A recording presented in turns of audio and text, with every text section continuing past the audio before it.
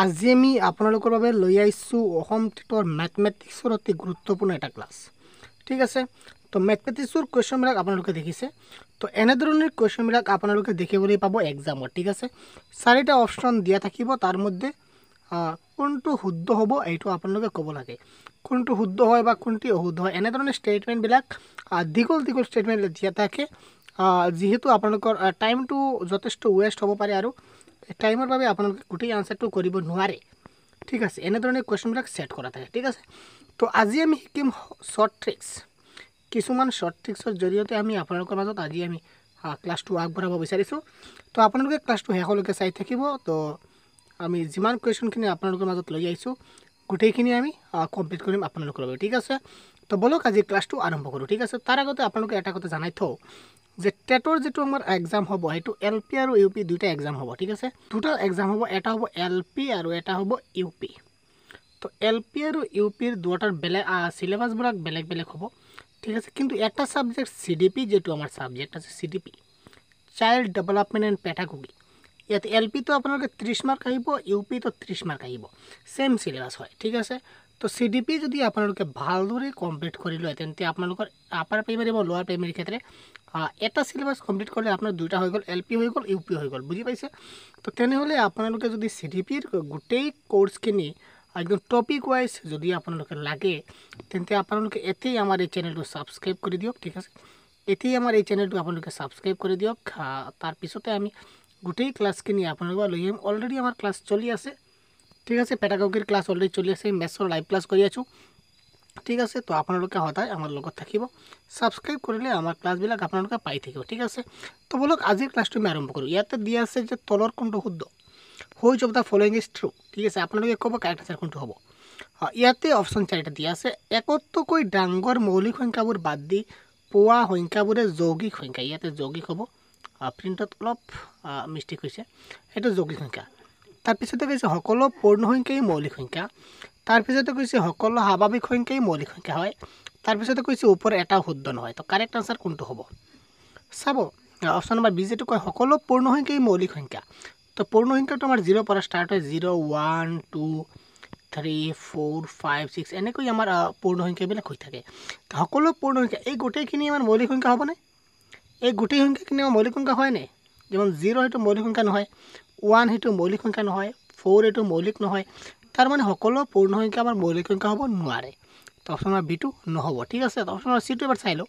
সকলো স্বাভাৱিক সংখ্যাই মৌলিক সংখ্যা। তো স্বাভাৱিক সংখ্যা মানে কি? ওৱান টু থ্ৰী অৰ্থাৎ ওৱানৰ পৰা ষ্টাৰ্ট হৈ গোটেই যিখিনি আমাৰ নাম্বাৰ আছে সকলোবিলাক আমাৰ কি? স্বাভাৱিক সংখ্যা। ঠিক আছে? নেচাৰেল নাম্বাৰ বুলি মই যাক কওঁ। তো সকলোবিলাক মৌলিক সংখ্যা নাই সকলোবিলাকতো মৌলিক সংখ্যা নহয়। আপোনালোকে চাব সকলো স্বাভাৱিক সংখ্যাই মৌলিক সংখ্যা নহয়। কিয়নো স্বাভাৱিক সংখ্যাৰ ভিতৰত ইয়াতে স্বাভাৱিক মই লিখি লৈছোঁ। ইয়াতে এক চাৰি আছে ছিক্স এইট এইখিনি কিন্তু আমাৰ মৌলিক সংখ্যা নহয় এইগুলি যৌগিক সংখ্যা হয়। তো অপশ্যন নম্বৰ চিটো নহ'ব ঠিক আছে? তো আমি এক নম্বৰ অপশ্যনটো চাই লওঁ। একতকৈ ডাঙৰ তো একতকৈ ডাঙৰ যিখিনি সংখ্যাবিলাক আছে আমি তাত অলপকৈ লিখি লৈছোঁ ঠিক আছে? ছেভেন এইট নাইন একতকৈ ডাঙৰ লিখি লৈছোঁ। মৌলিক সংখ্যাবোৰ বাদ দি আৰু মৌলিক সংখ্যাবোৰ বাদ দি তো মৌলিক সংখ্যাবোৰ আমি বাদ দিছোঁ। ঠিক আছে এইবিলাক হ'ল মৌলিক সংখ্যা মৌলিক সংখ্যাৰ বাদ দি পোৱা সংখ্যাবোৰ হ'ল যৌগিক সংখ্যা ইয়াতে মই আগতে কৈছোঁ প্ৰিণ্টিঙৰ অলপ মিষ্টেক আছে তো সকলোবিলাক যৌগিক সংখ্যা হয় ঠিক আছে যৌগিক সংখ্যা হয়নে সকলোবিলাক যৌগিক সংখ্যা ঠিক আছে অৰ্থাৎ তেন্তে অপশ্যন নম্বৰ এইটো হ'ল কাৰেক্ট আনচাৰ আশা কৰিছোঁ আপোনালোকে বুজি পাইছে তাৰপিছত যাব তলৰ কোনটো শূন্যৰ সমান নহয় এইটো কাৰেক্ট আনচাৰ কিয় আপোনালোকে ক'ব তলৰ কোনটো শূন্যৰ সমান নহয় অপশ্যন নম্বৰ এড দিয়া আছে জিৰ' পূৰণ জিৰ' ঠিক আছে তো জিৰ' ইণ্টু জিৰ' কি হ'ব শূন্য হ'ব শূন্যৰে যদি আমি দহ দি ডিভাইড কৰোঁ তেন্তে কি হ'ব? জিৰ' হ'ব। ঠিক আছে ইয়াতে প্লাছে মাইনাছে মাইনাছ কৰিলে দহৰ পৰা এক গ'লে কিমান নয় হ'ব। ইয়াতে যদি আমি এটা পাঁচ কমাই দিওঁ এইটো অলপ মিষ্টেক আছে আচ্ছা। ইয়াতে প্লাছ ফাইভ মাইনাছ ফাইভ আমি কাটি দিলোঁ ইয়াতে ওপৰত থাকিল জিৰ' তলত থাকিল পাঁচ। তো জিৰ'ৰে পাঁচ দি ডিভাইড কৰিলে জিৰ' হ'ব। তো ইয়াতে এ বি আৰু ডিৰ আনচাৰবিলাক আমাৰ জিৰ' হ'ল। কিন্তু চি নম্বৰৰ আনচাৰটো জিৰ' নহ'ল। ইয়াতে আমাৰ তেওঁ আছে যে কোনটো শূন্যৰ সমান নহয়।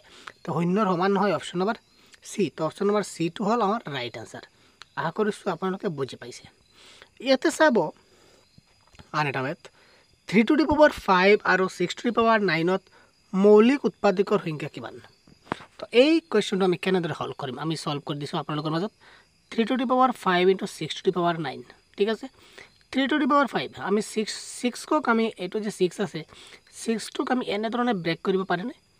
Three into two two into three to the power nine ঠিক আছে? তো থ্ৰী ফাইভ আমাৰ ৰৈ গ'ল। ইয়াতে টুৰ পাৱাৰ কি আছে? টুৰ পাৱাৰ সেইটো নাইন আছে। আৰু থ্ৰীৰ পাৱাৰ কি আছে? নাইন আছে। ঠিক আছে ইয়াতে তিন আছে পাঁচটা। ইয়াতে তিন আছে কেইটা? নয়টা। তো তিন কেইখন হ'ল? তিন, ইয়াতে আছে পাঁচটা, ইয়াতে আছে নয়টা। আপোনালোকে চাব, ইয়াতে তিন কেইটা আছে, নয় আৰু পাঁচে কত হ'ল? চৈধ্য প্লাছ। ইয়াতে টু কেইটা আছে, টু আছে নয়টা। আমাক প্ৰশ্নত কি কৈছে, মৌলিক উৎপাদকৰ সংখ্যা? তো তিন এটা মৌলিক সংখ্যা, দুই এটা মৌলিক সংখ্যা। তো উৎপাদকৰ সংখ্যা মানে তিন কেইটা আছে, তিন আছে আমাৰ চৈধ্যটা। এই নয় আৰু পাঁচ, ইয়াতে দুই কেইটা আছে, নয়টা। তো নয় আৰু তেইছটো প্লাছ কৰি দিলে হৈ গ'ল। তো নয় আৰু চৈধ্যটো প্লাছ কৰিলে কিমান হ'ব? টুৱেণ্টি থ্ৰী হ'ব কাৰেক্ট আনচাৰ ঠিক আছে আশা কৰিছোঁ আমি আপোনালোকে বুজি পাইছে যদি কিবা প্ৰব্লেম আছে আপোনালোকে আকৌ চাব নতুবা আপোনালোকে কমেণ্ট কৰি দিয়ক আমি তাৰ পিছতে আপোনালোকৰ বাবে সেইটো লৈ আহিম ঠিক আছে তো তাৰ পিছৰ কুৱেশ্যনটো এনেকুৱা three hundred twenty one into three point one divided by thirty one equal to what তো কাৰেক্ট আনচাৰটো কি হ'ব আপোনালোকে এইটো কমেণ্ট কৰি দিয়ক সোনকালে কমেণ্ট কৰিব ঠিক আছে মই অলপ ৱেইট কৰি আছোঁ অলপ ৱেইট কৰি আছোঁ এমিনিট মানে মই ৱেইট কৰিম ঠিক আছে তো এনেধৰণে যদি আপোনালোকে সদায় ক্লাছ পাব বিচাৰে এনেদৰে সদায় আপোনালোকে ক্লাছ যদি পাব বিচাৰে আমাৰ চেনেলৰ জৰিয়তে গোটেই চিলেবাছখিনি আমি কমপ্লিট কৰিম বেচিকেলি মেথছ আৰু চি ডি পি ঠিক আছে?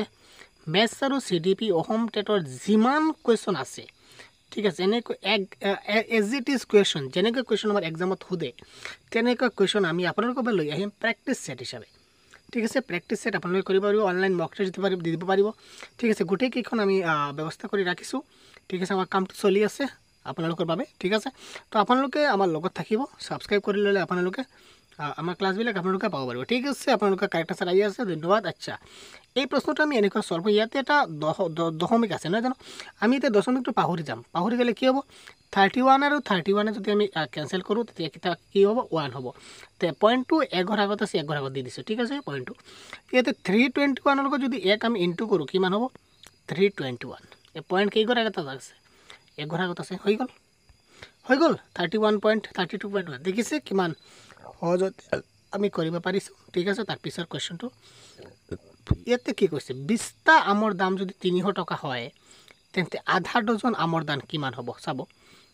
বিছটা আমৰ দাম কিমান কৈছে আমাৰ? তিনিশ টকা কৈছে। ঠিক আছে তো এটা আমৰ দাম কিমান হ'ব?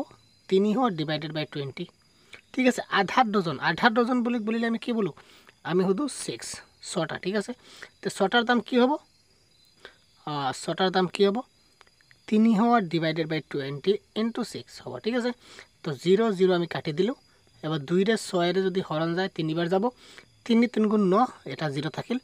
নব্বৈ টকা হ'ল কাৰেক্ট এনচাৰ ঠিক আছে? বিছটা আমৰ দাম যদি তিনিশ টকা হয় আধা ডজনৰ দাম ক'ত? ইয়াতে আমি ছিক্স কিয় দিছোঁ?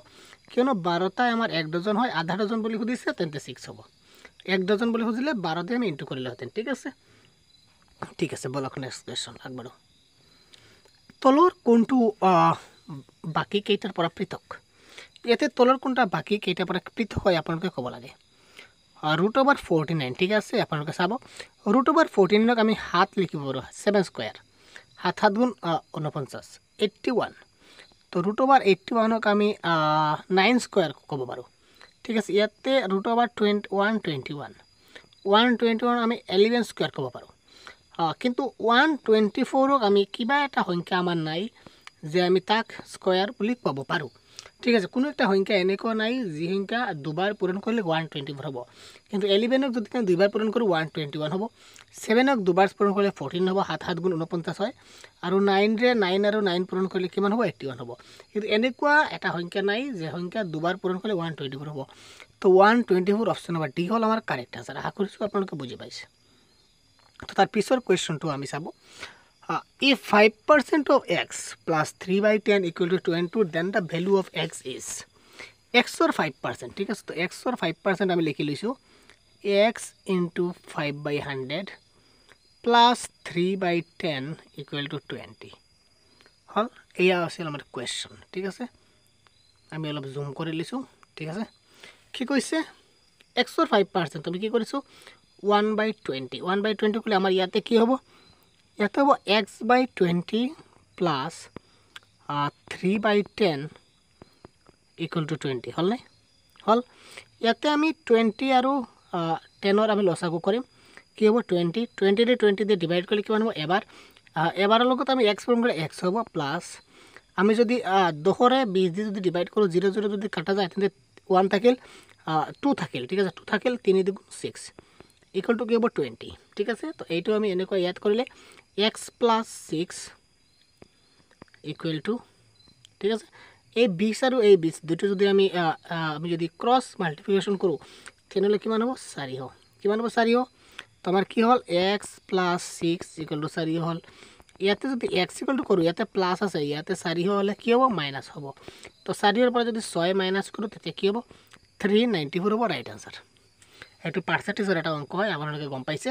আৰু গোটেই মানে টপিকবিলাক পাৰ্চেণ্টেজৰ যেতিয়া আমি চেপ্টাৰ কৰিম এতিয়া এনেকুৱা এনেকুৱা যিমান মেথছ আছে গোটেইখিনি আমি সামৰি ল'ম ঠিক আছে? গোটেইখিনি আমি সামৰি ল'ম ঠিক আছে? যিমান ছিষ্টেমৰ আমাৰ মেথছবিলাক আহে এক্সামত গোটেই ছিষ্টেমখিনি আমি সামৰি ল'ম আপোনালোকৰ বাবে। তো তাৰপিছতে মই আহিছোঁ আন এটা মেথছলৈ বহুলক ঠিক আছে?